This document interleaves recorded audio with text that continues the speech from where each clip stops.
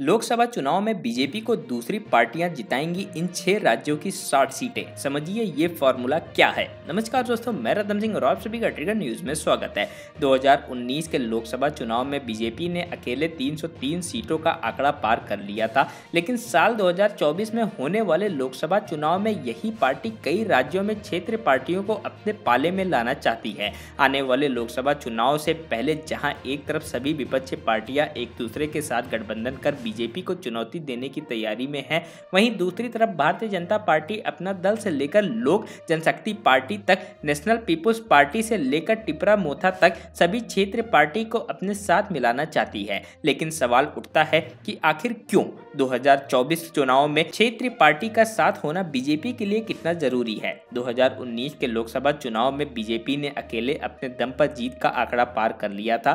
303 सीटें जीतकर पार्टी ने यह साबित कर दिया है कि वो अकेले सरकार बनाने में सक्षम है, लेकिन पिछले चार सालों में जो हुआ, उसका अनुमान शायद ही बीजेपी ने लगाया होगा। जहाँ एक तरफ़ बीजेपी अलग अलग राज्यों में फिर चाहे वो गुजरात हो या मध्य प्रदेश, उत्तर प्रदेश हो या हरियाणा सरकार बना रही थी, वहीं कुछ राज्यों में बीजेपी के दोस्त यानी कि गठबंधन वाली पार्टी उसका साथ छोड़ रही थी। बिहार की लोक जनशक्ति पार्टी लव हेट रिश्ता रखने वाली जनता दल यूनाइटेड, गोवा में विजय सरदेसाई की गोवा फॉरवर्ड पार्टी, तमिलनाडु की डीएमडीके पश्चिम बंगाल में गोरखालैंड की मांग करने वाली गोरखा जन मुक्ति मोर्चा, राजस्थान की राष्ट्रीय लोकतांत्रिक पार्टी और पंजाब में सी रोमड़ी अकाली दल, ये वो पार्टियाँ हैं जिन्होंने बीजेपी के साथ 2019 के बाद छोड़ दिया। इन पार्टियों की अपने अपने क्षेत्र की राजनीति में अच्छी खासी पकड़ थी। वहीं इनके अलावा कई पार्टियाँ ऐसी रहीं जिन्होंने बीजेपी का साथ तो नहीं छोड़ा, लेकिन उनके अंदर खुद मतभेद देखने को मिले।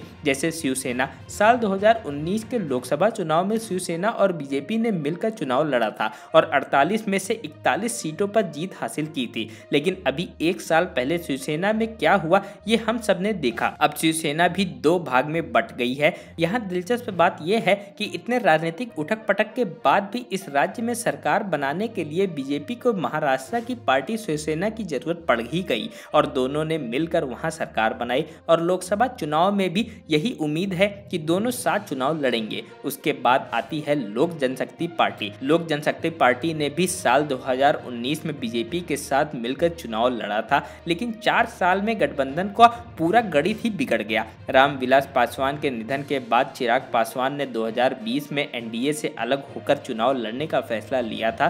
फिर पार्टी में चाचा पशुपति पारस और चिराग पासवान के बीच मतभेद होने लगा। फिर पशुपति पारस ने सांसदों के साथ मिलकर पार्टी का अलग गुट बना लिया और उससे बीजेपी को समर्थन दिया। तो उससे भी सीधे तौर पर बीजेपी को कुछ खास नुकसान नहीं हुआ। हालाँकि कुछ एक्सपर्ट्स का मानना है कि ये बीजेपी का ही प्लान था। पिछले चार सालों में बीजेपी को सबसे बड़ा नुकसान खासकर तीन पार्टियों से हुआ है। वह तीन पार्टियाँ हैं, सी रोमड़ी अकाली दल, जनता दल यूनाइटेड और शिवसेना। अब सवाल उठता है कि क्या इन तीनों ही पार्टियों के अलग होने से वाकई बीजेपी को आने वाले लोकसभा चुनाव में सीटों का नुकसान होगा?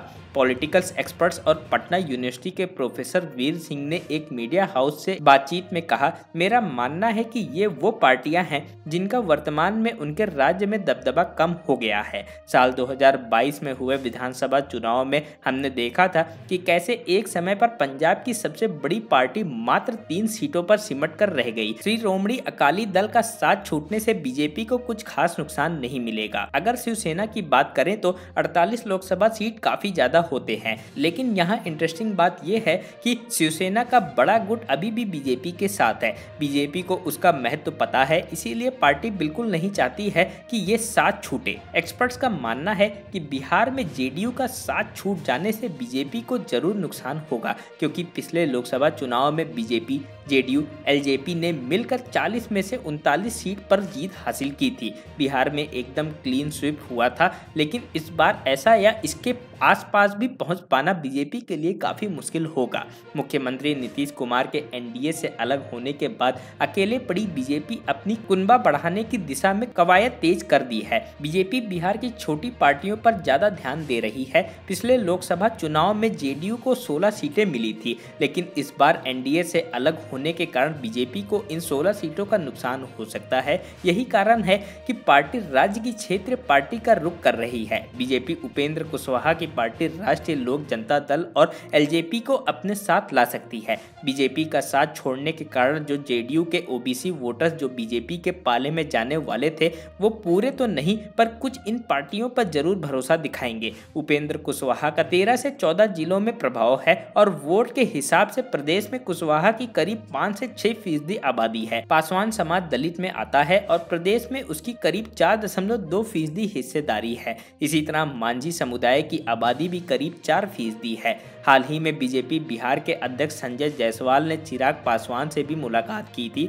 छोटी छोटी पार्टियों में देखें तो एलजीपी का अपना बोलबाला है। ये वो पार्टियाँ हैं जो बहुत ज़्यादा बड़ी तो नहीं, लेकिन राज्य के राजनीति पर इनका प्रभाव है और बीजेपी ऐसी ही पार्टियों के साथ बातचीत कर रही है। बिहार की तरह ही उत्तर प्रदेश में भी बीजेपी कई क्षेत्रीय पार्टियों को अपने साथ लाना चाहती है। फिर चाहे वो निषाद समुदाय को साथ लाने वाली निषाद पार्टी हो या फिर कुर्मी वोट बैंक पर ध्यान देते हुए अपना दल का साथ देना, या फिर सुहेल देव भारतीय समाज पार्टी के ओम प्रकाश राजभर से बातचीत करना। अगर यहाँ इन छोटी पार्टियों का साथ मिल जाता है तो बीजेपी को लगभग 10 सीटों का फ़ायदा हो सकता है। यही कारण है कि बीजेपी लगातार छोटी पार्टियों को साथ लाने की कोशिश कर रही है, और ये कोशिश केवल उत्तर प्रदेश, बिहार तक ही सीमित नहीं है। नॉर्थ ईस्ट की बात करें तो त्रिपुरा इलेक्शन में सबसे ज़्यादा चर्चा में आई पार्टी टिपरा मोथा के साथ भी बीजेपी गठबंधन करना चाहती है, क्योंकि आदिवासी इलाकों में टिपरा मोथा की पकड़ काफ़ी अच्छी बन गई है। वहीं नागालैंड में नेशनल डेमोक्रेटिक प्रोग्रेसिव पार्टी और वही मेघालय में नेशनल पीपुल्स पार्टी के साथ बीजेपी का गठबंधन पहले से है,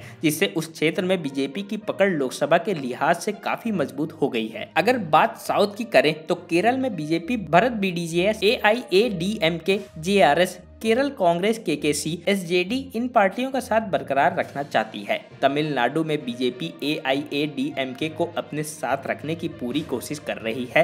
हालाँकि लोकल बॉडी इलेक्शन में दोनों पार्टियों ने गठबंधन तोड़ लिया था। लेकिन 2024 को लेकर दोनों ही पार्टियों का कहना है कि साथ में ही लड़ेंगे। जहाँ जहाँ बीजेपी के बिना गठबंधन की सरकार है वहाँ वहाँ बीजेपी रीजनल पार्टीज़ पर ज़्यादा ध्यान दे रही है। दक्षिण भारत बीजेपी के लिए काफ़ी ज़्यादा महत्वपूर्ण है। इस क्षेत्र में 133 लोकसभा सीटों पर चुनाव होने से जिस पर जीत हासिल करना बीजेपी के लिए बहुत ज़रूरी है। अगर कर्नाटक को छोड़ दें तो साउथ के हर राज्य में बीजेपी स्ट्रगल कर रही है और इसी का समाधान निकालने के लिए पार्टी ने 18 साल बाद तेलंगाना की राजधानी हैदराबाद में राष्ट्रीय कार्यकारिणी की बैठक की थी, जिसमें दक्षिण में पार्टी का विस्तार कैसे हो इस पर खास ध्यान दिया गया था। साउथ में अगर बीजेपी को पैर पसारना है तो बहुत ज़रूरी होगा कि भारतीय जनता पार्टी इन राज्यों के क्षेत्रीय पार्टियों से हाथ मिलाए। केसीआर की पार्टी के कई नेता भी कई बार केंद्र सरकार की तारीफ़ करते हुए नज़र आ चुके हैं। बीजेपी चाहेगी कि ये सब छोटी छोटी पार्टियों का साथ उन्हें ही मिले।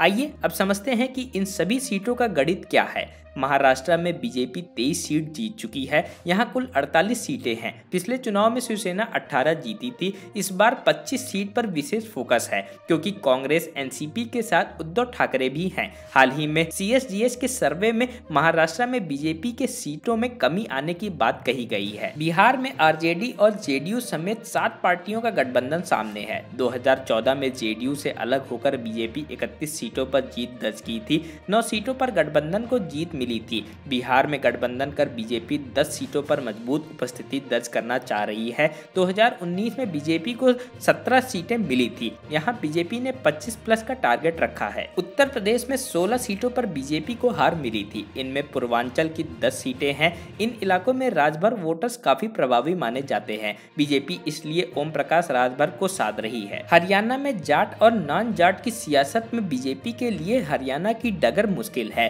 पार्टी इस बार बाद जननायक जनता पार्टी से चुनाव से पहले गठबंधन करेगी। आइए अब जानते हैं कि बीजेपी छोटी छोटी पार्टियों को क्यों साथ लाना चाहती है। पटना यूनिवर्सिटी के राजनीतिक विज्ञान के प्रोफेसर वीर सिंह ने एक मीडिया हाउस को दिए इंटरव्यू में कहा, बीजेपी आने वाले लोकसभा चुनाव में किसी भी तरह का रिस्क नहीं लेना चाहती है। हालाँकि साल 2019 में हुए लोकसभा चुनाव में बीजेपी का प्रदर्शन काफ़ी अच्छा था, लेकिन बीते चार सालों में कई राजनीतिक बदलाव हुए हैं। बीजेपी नहीं चाहेगी कि इसका असर लोकसभा के चुनाव पर पड़े। इसीलिए क्षेत्र दलों को साथ लाने के लिए पार्टी पूरी मेहनत कर रही है। अब देखना ये होगा कि 2024 तक बीजेपी कौन कौन सी पार्टी को अपने साथ लाने में सफल हो पाएगी।